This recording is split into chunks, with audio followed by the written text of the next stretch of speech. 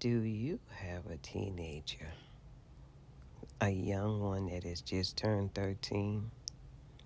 Well, in Cardology, this is known as the Venus years, from 13 to 26. Think of Venus and all of the attributes of this planet.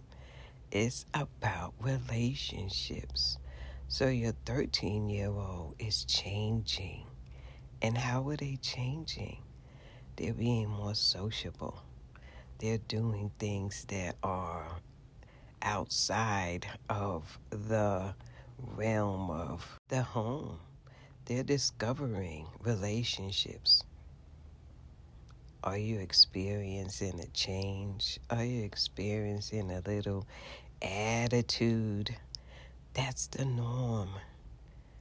They're wanting to be more social wanting to be with their friends and they're wanting to discover who they are.